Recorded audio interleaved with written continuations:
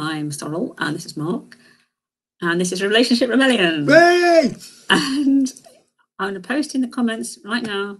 Please let us know if you're watching. So if you're not watching, then you can have a list. I'm nervous again. Have you fallen to pieces? Just Already? as, just as it's gone live. This Just as It's it's, like a TV presenter. Actually, it probably isn't. they're very professional there. Yeah, they don't fall apart in the mm. first sentence. So anyway, today we were going to talk about friendship. Um, I forget how we arrived at this decision, but we did. And I'm going to let Mark have the floor most of the time, unless. Uh, I'm sorry, if I keep flapping my hands, it's because there's a fly and it's irritating. She's mad. No, I'm not. you are the mad one. anyway, so Mark's going to talk about friendship, Yes. and and I might prompt you if you forget anything. Well, that's thank you. Okay. Wow, we're off. Do you want to tell us, tell the, the lovely people out there why we're talking about friendship when we this is about relationships? Because that might, they might want to know. Well, that's a good place to start. Um, that's funny, isn't it? Because fancy having a really close relationship with someone who wasn't actually your friend. That'd be kind of weird. You can have that. And so, and I looked at lonely old men Lonely old men. They're called loms. who had no friends Yes. and and then I realized the difference between colleagues and friends. right. Okay. Right. Or comrades and friends. Yes. Because a comrade is a relationship in which you depend On each other. on each other. And can I just interject here that Mark is an ex. He's a veteran army medic, Yes, sir. so he knows about comradeship in great Detail. detail. Absolutely. Yes. It's cheap as chips. You are united immediately by a common enemy, and you can be a comrade with anyone. All right, Okay. because you are united in purpose against them over there. All right, so that's not a friend. That is a relationship of convenience because you're both in the shit Yeah, that's one way of looking at it. Yeah. fundamentally, Yeah. and it is that very threat that keeps you together. yeah. So you're dependent and you're assets, and you can let each other down, and you can disappoint each other, and you can not be good enough, and you can be all those things when you're a comrade. Can you let each other down if you're a comrade? Yeah, Oh, okay. because you're a human being. Oh, okay. So all those things can happen when you're a comrade. They don't happen when you're a friend, particularly, Okay. because a friend doesn't put those expectations on you in the first place that might overburden you. Oh, I see what you mean. So there's a possibility of letting somebody down. because there's Absolutely. expectation not to let them down. That is correct. Got it. And so this is a service relationship as opposed to a friendship. hmm A friendship is between equals who don't have to depend upon each other. And that's why they can relax together. hmm And that's why they don't disappoint each other. Mm. And that is because they are independent and have chosen to accept each other. hmm And you know, your friend can think something totally different from you, and you won't mind at all because you respect his facility to have a brand new or different perspective to yours. And what matters is that you like each other. That's what matters. Yes. And so friends don't even compete unless it's quite playful. Because why would you make your friend lose? Why would you give your friend the feeling of Mm, loss? mm. You know, if you want to compete, if you want that sort of relationship, go and have a competition over there. You know, my friends come to me to be relaxed, to be accepted, to be listened to, to be tolerated, and uh, and occasionally to be summed up in a really funny sort of way, which gives them a different feeling about the gig. Yeah. Um, yeah. And because I have no friends, have no hierarchy. They don't Yeah. have to listen to me. No one's in charge of the friendship. And if you put a hierarchy in there, then it's not really friendship anymore, is it? No, no. Now you've got another thing entirely. Mm. Now you can take friendship into these other relationships if you've got any sense. But if you have them without it, you're stuffed Mm. because now it's a hostile event and it's all about loss and pettiness and anger yeah. uh, and loss. Absolutely. And so the example that you used earlier, which was I had the agreement with what's his face that he would be there to pick up the kids and whatnot. Well, it wasn't mine. It was just a made up. It's the metaphor. Yeah. Right. And he doesn't do it. Because he's forgotten or whatever. Whatever. It doesn't really matter about the Mm. reason. He's forgotten. And you're cross because it has a cost. Because, yeah, because the kids didn't get picked up from school or That's- whatever. That's right. Yeah, yeah. And you thought it was an agreement. Well, it was agreement. That I mean, that the, the There we go. what I was saying was that it was an agreement. There we that was go. the idea Now you see, this is the bond of service. This is the bond of service. And friendships can tolerate the bond of service, Yeah, but it has to be between friends. Now, him blowing out on you was not friendly. friendly, exactly. Right. Yeah. You're being really, really cross about him and the way he behaved. That wasn't friendly either.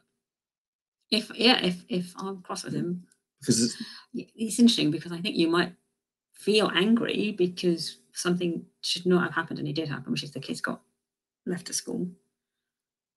And but then it's how you deal with your anger, isn't it? that's right. And And a friend recognizes that their friend is, spends a lot of time being an idiot because everyone does. yes, because we're not idiots. So We're all that, idiots. so that when, when we can accept that our friend is also an idiot periodically and give them the space to adjust that, Mm, you know, there's no such thing as 100% reliability.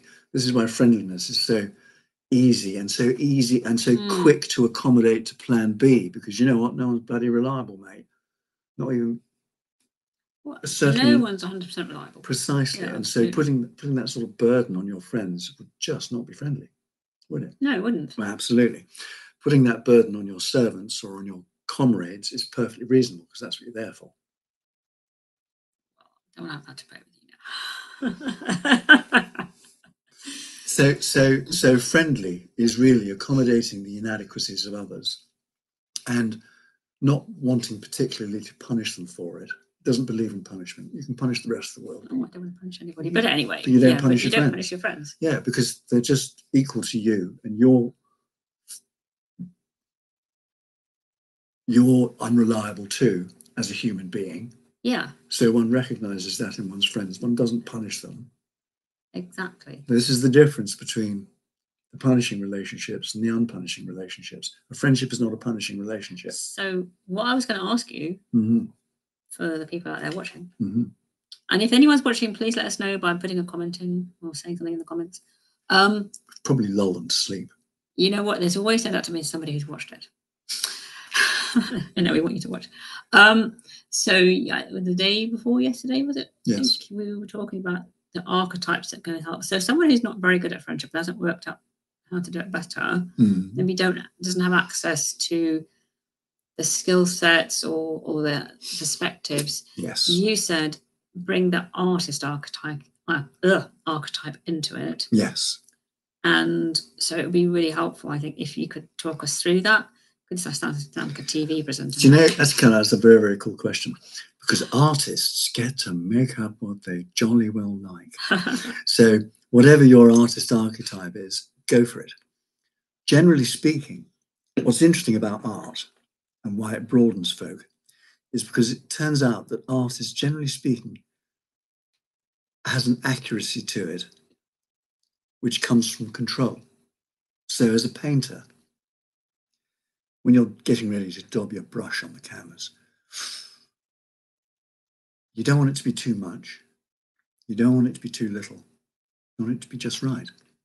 And so, therefore, a painting is generally speaking a thousand moments of discernment when it comes to the application of your energy to this experience and how you do it. And you can have angry paintings and you can have calmy wami paintings, you can have anything you jolly well like. It's up to the painter to create that, what they want to create. Okay. Now, that skill does not exist in isolation. I think that skill of the application of yourself exists in all of our relationships. Yeah. And most, if not all, of our conflicts are based on an excess or a dearth of something, too much or too little, yeah. as yeah. opposed to just right, the Goldilocks bit. And painters are Oh, all yeah, about the Goldilocks bit. And actually, if you're not tense and you're not terrified and you're not worried and you're not full of hate and you're making hate in your mm. relationship, the Goldilocks place is really easy to find. It's just an accommodating space that cherishes a real being as opposed to some other notion. So the artist Yeah. is constantly adjusting his or her way through their creation constantly and may and often just accepting what is Yeah, and the other thing you said the other day was about, I think I prompted this a bit because we've had this conversation before, is, is that you've painted something Mm, and then you're thinking, oh, I'm not sure about this. And then you walk away from it maybe for 48 hours. mm, And I think in relationships, it's a little bit the same because sometimes it's like, oh, I'm not sure about this. Let me just go away and reserve judgment and and just. do you know what that is that is the disappointment of a creator that doesn't know what good is and just because you've come to the point where you can't paint anymore doesn't Mhm. mean you've finished. It might mean the picture's finished. But you have to walk away from it because the drive, the dissatisfaction that caused you to paint Mm. it hasn't left you yet. Oh, is that? And you can't Mm. recognize what's good yet because you're still a bit creatory, egoic, cross.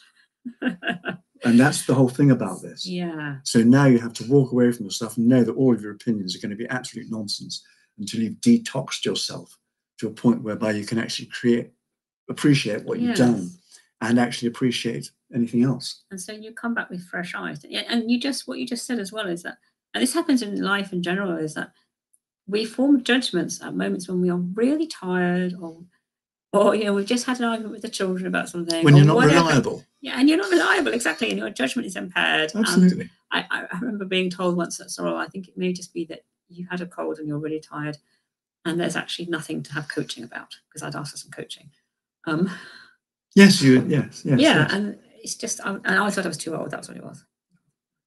Because I just had a cold and I was really tired and stressed, and I travelled to London and had to get up at some ungodly hour of the morning to get there on time. So you were toxed, anxious, Yes, un- malnourished, probably. probably feeling 10 years older than I actually am or was at the time. So So this is a fragile feeling. It's a fragile feeling. So when you bring that to a relationship or when you bring it to, to a work of art or we, whatever you're creating, it could be a poem or, Well, all you whatever. all you bring is your anxiety and your hunger. yeah, exactly. Absolutely. And Yeah. your tiredness. And Yes. me, I just need to blow my nose. Well, yes. Well, an artist would be all right with that. You Just realise that you were knackered and, and give you a bun and, and wait. For, you know, Well, I'd do, so did the coach. well, good, I was knackered. That was good, good. Just that was it. Just, he said, a, a cup of just tea moment. it might be just, just that you're tired and you've been ill and Yes. not recovered yet.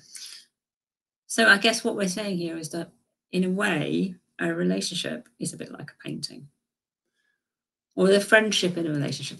Friendship is a bit like a painting. What in that it requires skills.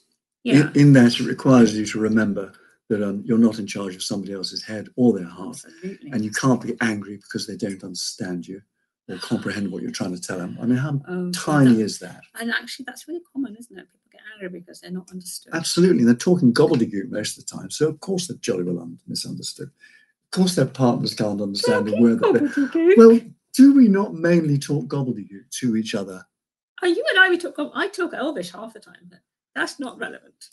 What's what's what's, revel- what's relevant is, is is being upset because somebody doesn't get you, Yeah, yeah, that's what's relevant. And actually, sometimes and just not repositioning yourself and taking another swing at it and seeing if they get this instead. start saying it in different words or coming Yes. at it from a different angle. Well, this is the application of soft power, which is actually the core Yes. of friendship. yes, you know everything else is hard um, or a variation of hard because it has conditions to it whereas friendship is just accepting. It's it's just not particularly judgmental. And it's not intimidated and it has no com- desire to save or to correct. It it just likes you. And it Mm, recognizes its own mortality it's interesting, you know, because you talk about people not wanting to, uh, in a friendship, not wanting to correct the other person, and yet I see that a lot. So it's possibly a measure of how good the friendship is. well this is because the friendship has hierarchy and Mm, dominance yeah, of mind and dominance of mind And if- that's Yeah, and if that's what your friendships are like, it's likely that's how your relationships will be. it is likely And that's worth noticing because if you've noticed it in your friendship with somebody, you might then think, ah, am I also doing this in my relationship with my other half? well yes. And quite likely you are actually. In Well- most of that's common pattern. of course it is Yeah. of course it is So where are we? Well, now we get into the prime skill sets, which is quite interesting. Which Yeah. is which is golden ears and golden eyes. which is the heart of friendship. The willingness to listen without judgment. Well, yes. And on its condensed level with energy, hmm with energy, on its Mhm. condensed, usable level, Yeah. I recognize love as service. Yes. Everything else is ego based. So when I am listening with my golden ears, which don't want to interrupt you, which Mhm. appreciate what you're saying, which are not finding holes in you, which are not, which are just simply accepting you. Mhm. Those are my golden ears. And when I'm looking at you with my golden eyes, which allows you to be seen at last in the day and all those things, Mhm. you know, in a world that doesn't see, in a world that doesn't listen. Mhm. These are the services. When I do that, that's love. That's the invigoration that a parent gives a child. That's the invigoration that the audience gives the rock star Oh yeah. to be seen Yeah. and to be heard. The moment I speak, it's ego. Uh, that well, that was an interesting conversation we had yesterday, wasn't it? About how when it how it is possible to speak without ego, because Well- that is the really difficult trick. well, this well, it's not possible. So therefore, I suspect. Oh, I we're going to have to agree to disagree. Well. I don't mind having a spat on you on air, but this is where friendship comes in because there's no way that you would receive all of that service from your friend without returning that service to your friend. of course, yeah. Okay, so now we get into that wonderful rhythm of friendship, Yes, indeed. That's, so that's is that interdependence, not dependence, but interdependence, where in the reciprocity. I see and hear you, Mm, you see and hear me. yeah, We bear each other no malice. yeah, I have no desire to win over you. We are not in conflict. yeah. There we go. And if you can do that in your relationship, Yes. then you're really getting a Yes, and actually, you have no power over me. I am here with you because I Mm. like you. yeah, That's really important. yeah. You know, because once you get into power, hierarchy, all sorts of all those rankings, oh, it's you're just back to square one again. And it seems to me that that hierarchy thing comes in where usually the person at the bottom has, has probably experienced some trauma, has Which is why they've been to occupy that position. yes, And the person at the top end has also experienced some trauma, probably. you know, I I happen to think yeah. that they're they're both doing the tango, and it's just simply a question of which one's being flung about by whom. It, uh, you can, yeah, sometimes they can swap positions. Is that what you're saying? No, I'm Oh, not okay, saying that at all. I'm saying that for them to even be together hmm requires a certain resonance. Yeah. Oh, yeah, yeah, yeah. so, so they will recognize each other. like lock and key, aren't they? Yes, and Yeah. un- and and until you go back to your factory settings and have a muck about, you're likely to attract another party who recognizes your frequency, and of course, the prey will Mm. attract a predator. Yeah. How can that not be the case? It behaves like prey. And so you've got a choice. You can either heal the relationship and heal within the relationship, which means both parties are healing, or it, or split up and go your separate Well, ways and he, and heal on your own. healing, healing rather illustrates the desire to um, close the damage, whereas actually growing is more of interest. You know, the damage, Okay. every scar has an enormous amount of wisdom in it. Yes, it does. The fact that you took that sucker tells you about gaps in your defenses yeah. and it tells you about your imbalance. And See? and it's also worth remembering that whatever you were doing was something that you learned to do as a child, which you had, ha- it was your response that kept you safe and worked when you were a child. That's right. Kind of doesn't work in that. That's right. marriage. This is exactly the same thing as the bird pelting down the runway to take off and then using an entirely different strategy to fly. One is to get there and the other is to woo. Yeah. And um, I think I look at Yeah. mm, Yeah. friendship is about gliding. Comradeship is all about belting down the runway. Oh, okay. Yeah, you can have you can mix these things if you're friendly. Yeah, and you know what? I like that because when you think about geese Yes. and how they fly in formation, yes. and they always take it in turns to be the one at the top. that's- That's because they're rank egos and one of them wants to show off. You are. s- Obviously. That's how you pick up in geese society. You show just them emerged. you show them did it? Oh, it's, it's it's fair fair shares for everybody, isn't it? Oh, he's brought out the soft toy. Says I am sorry. Yeah, yeah, yeah, yeah. Yeah. yeah. So, So- relationship works, generally speaking, if it has friendliness in it, because people want to turn up. If it doesn't have friendliness in it, then it is probably doomed to some kind of Mm, horrible crash. Yes. And whatever relationship is, if one of the parties doesn't have friendliness in it, then it's up to the other party to recognize and develop. Otherwise, you're complicit.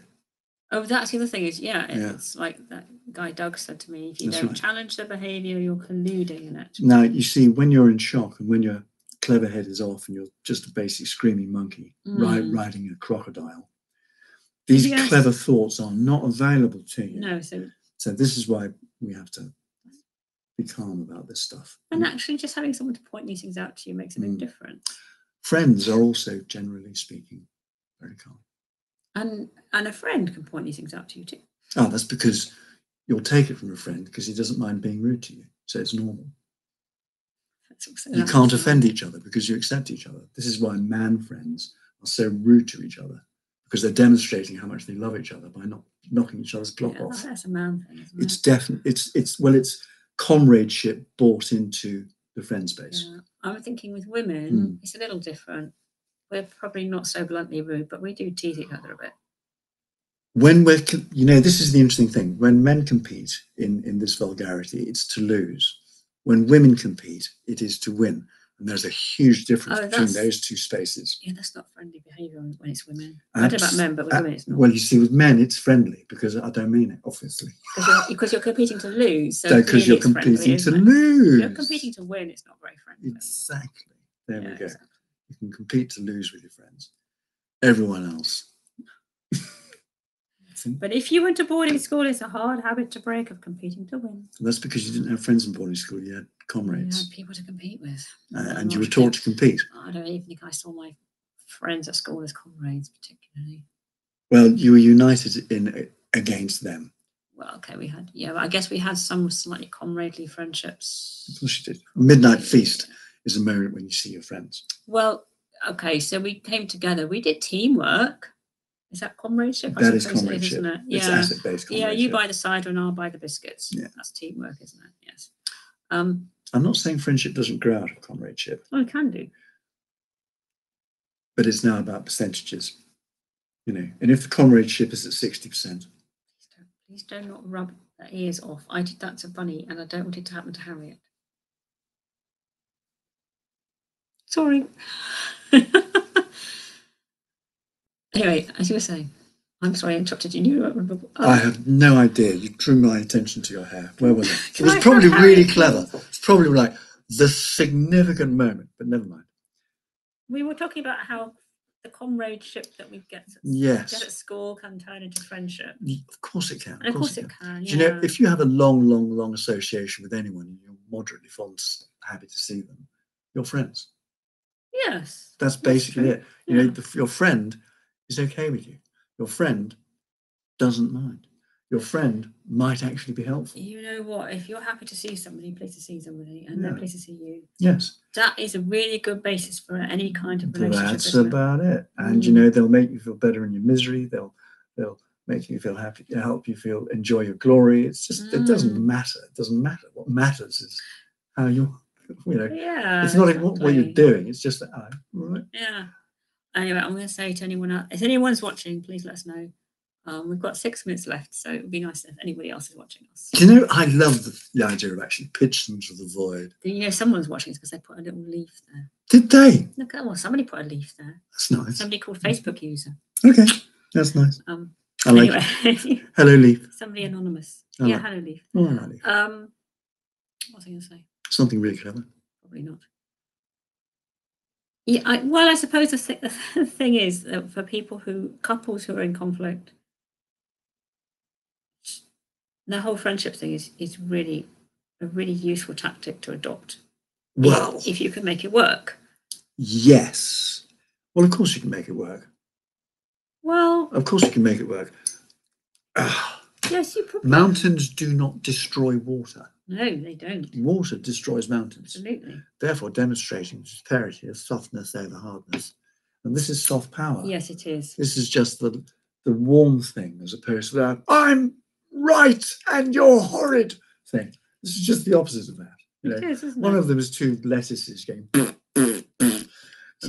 and the other one thinks, well, I'm not going to join that salad. I'm going for the casserole over there. Yeah, absolutely. Whatever it is. You know, one of them's got a future. The other one's just got a shelf life. You know, Yes. come on, fine, come on. Oh, are you being horrible to lettuces? Foodists, foodists. I'm sorry if. Oh, Leaf. I beg your pardon. You've inspired me. I'm so sorry. Thank you so much. Thank you so much. Anyway, are we finished? No, we've got five minutes to Oh, blimey! Have we really? I've said all the clever stuff. I said all the clever stuff. All right. What else do you want know?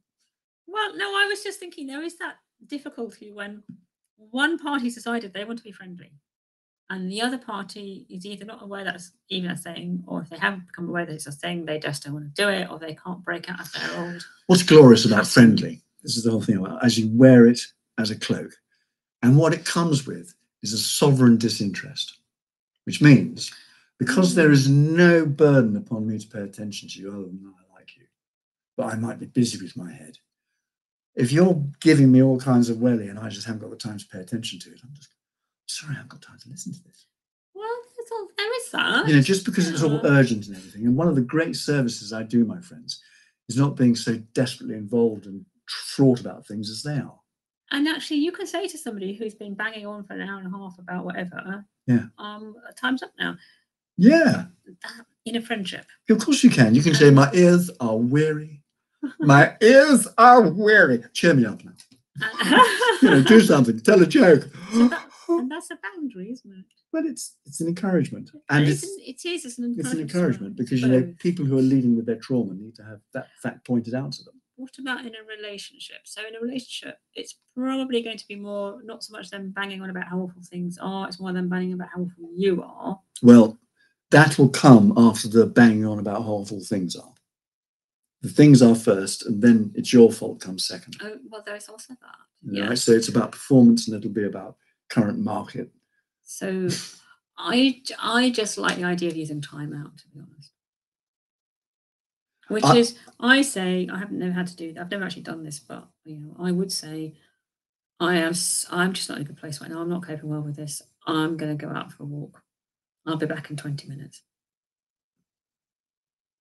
or whatever time frame I decide upon. But I think the standard one is 20 minutes. Do you know that's friendly?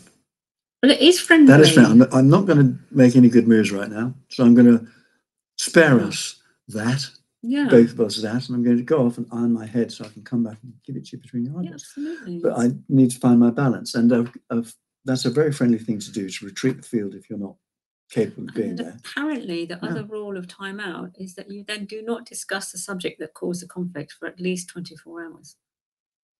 So you go away, Which is not picking the wound. which is not picking up the wound. Yeah. Because hopefully, 24 hours later, it might look a little bit different. Hopefully, 24 hours later, you'll calm down a bit and realize that Well, being it. angry at someone is just Well, hideous. it's a bit pointless. It's hideous to point fury at somebody that Mm. you're going to climb into the same bed with. It's just tiny, tiny, tiny stuff. And we have to be bigger than that if we're going to have a relationship. Otherwise, we're screwed. Mm, And I think this is probably why most of them crash and burn because you have to be so big to have a successful relationship and be happy in it. You know what? I think once both both parties recognise that they just need to, to to kind of the withholding judgment, the acceptance of things, the the, the importance of being friendly, or when both parties accept all those things, it's actually fairly straightforward. It's when one party does and the other party doesn't. I think that's when it gets really. Well, I, difficult. I think that's the editing process because, you know, eventually you're going to have to hang out with your equal. oh, you mean you might just go find somebody else? That's right. And you're just going to find somebody else because if they're not your equal, because they're all petty and they bring this bloody malice to the thing. Or you you find some professional to help who will deal with the grandiose and tell him man to man that if you don't get your act together, mate, she's going to leave you. That's my personal professional opinion. Anyway, Well, I, I, I have no such credence. I Um, know. so, Neither do I, because I'm so, man. so mine would be, um, mate, you've got a skill sh- shortage there, and uh, we can talk about it. Yeah, absolutely. I mean, you don't have to be professional. You, Yeah. you could be a person who's had plenty of life experience. Well, actually, it's just it's, It's- it's, it ha- it's you've do, seen it happen. do you have the eyes to be able to identify somebody who's crap at love? And therefore, what would your conversation be about? Something like that. And crap at love is is hard to hide from, as the wake of relationship of the one you're in and the ones you've had float past. Just say float. past. That's right. So talking about love is rather like country and western. Oh, don't It's very please, sad. please It's very sad, but there's lots of funny bits. Oh, it's lots of funny. Bits. And you can wear a cowboy hat. Well, you look good in a cowboy hat, but I don't mind Mm, there we go. Anyway, no, time is up. Yeah. It's time to finish. All right. Thank you so we much. have a Saturday to get on with. So, Hmm. well, thank you to the person who gave us a leaf and showing up. That was great. If Thank still here. And obviously, this is going to go out on. I don't know how this works, but it, it just repeats itself. It recycles, doesn't it, on all these platforms? So, please feel free to comment again if you wish to. And we'll be here next Saturday, and we'll be here pretty much every Saturday in August. Wow, Okay. so that's good, isn't it? Yeah. So we'll see you next week. All right. Bye, everybody. Ciao, ciao. Bye-bye.